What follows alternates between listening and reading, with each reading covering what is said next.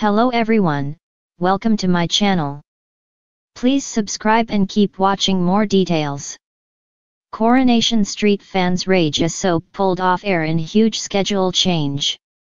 It looks as though Coronation Street episodes will look slightly different this week as the ITV soap has been moved from its regular slot. Each week, fans of the ITV soap usually get their Weatherfield fix on Mondays, Wednesdays, and Fridays. However, Coronation Street's regular broadcasting slots have been slightly altered this week. There will be no episode broadcast on Friday evening, instead, viewers will be able to watch the soap for three nights in a row from Monday. The three-hour-long episodes will now air Monday to Wednesday. It comes as the channel will be airing the Women's UEFA Euro 2025 qualifier from 7.30 pm, which would interfere with Coronation Street's start time of 8 pm. The live match will see England go head-to-head with Sweden and is expected to finish at 10.15 pm. However, it seems as though some viewers aren't thrilled with the change, which has been done multiple times in the past.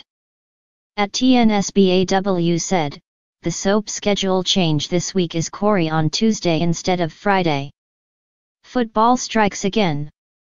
At Matt Z. Miller reeled, Get Corrie at If Corrie back to half-hour episodes, pair it with half-hour at Emmerdale Monday to Friday same schedule every week, then if footy on easy to reschedule episode, only hour long when big storyline.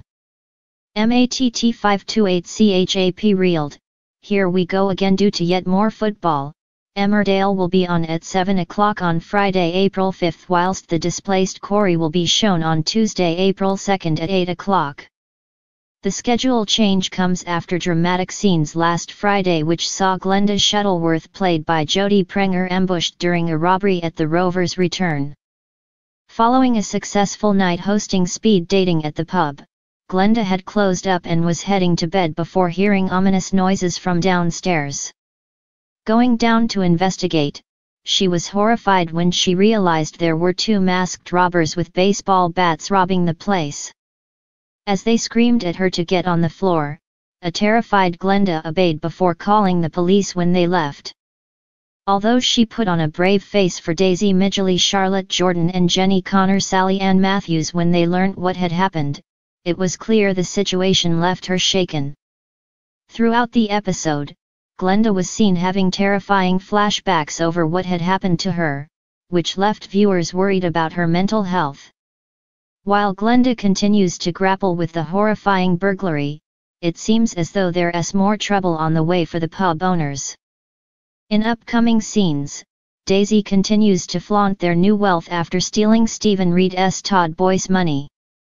While Jenny grows nervous about the whole situation, it seems as though the pressure of keeping this secret becomes too much for her. As Carla Connor Alison King finds her upset in Victoria Gardens, Jenny reveals everything about taking the money that Stephen had stolen from her to save the pub. Now that Carla knows the truth, what does that mean for Daisy and Jenny's future?